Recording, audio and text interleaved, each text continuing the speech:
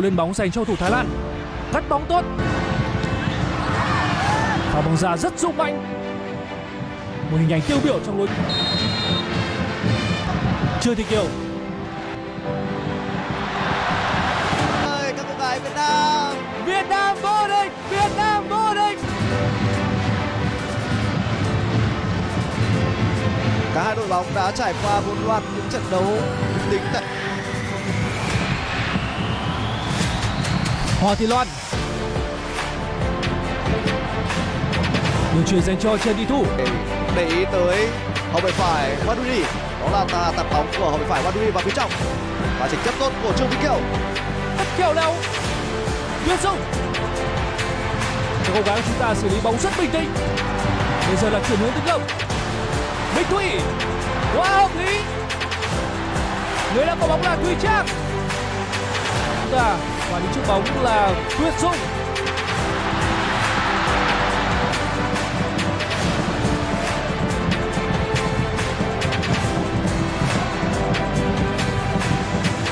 Anh Đức Anh có thể là Trương Vĩnh Kiều. Một tình huống phát động tấn công. Và Bây giờ là cầu lên bóng dành cho thủ Thái Lan. Cắt bóng tốt.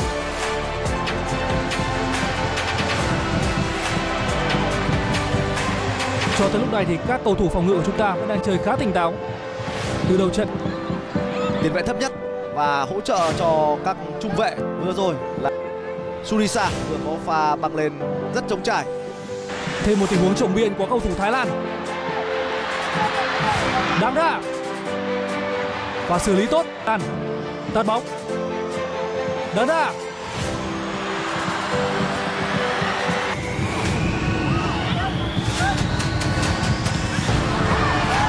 Và ra rất dũng mãnh. Một hình ảnh tiêu biểu trong lối Một cuộc đối đầu rất thấp. Đó là tình huống đánh đầu phá bóng của Trương Thị Kiều. Hải Yến. Trương Thị Kiều. Rất bình tĩnh. Hoa Thị Loan. Đặt sự an toàn của hoàng thủ là quan trọng nhất. Phá bóng được thì thể lực của Tuyết Dung cũng đã xuống một chút rồi.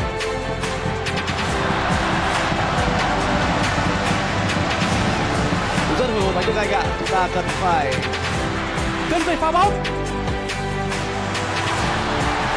Cơ hội dành cho đội tuyển nữ Việt Nam.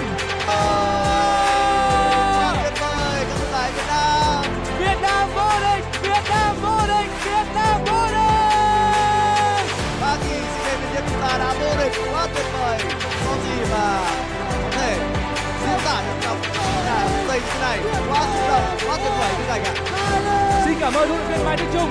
Xin cảm ơn ban huấn luyện của đội tuyển bóng đá nữ Việt Nam. Họ đã mang tới quá nhiều những chiến tích tuyệt vời trong thời gian qua cho người hâm mộ. qua là ngày sinh nhật bác và ngày hôm nay, chiến thắng này cũng là sẽ là một chiến thắng rất đẹp để chúng ta gửi tới người những người hùng, quỳ Trang Đó.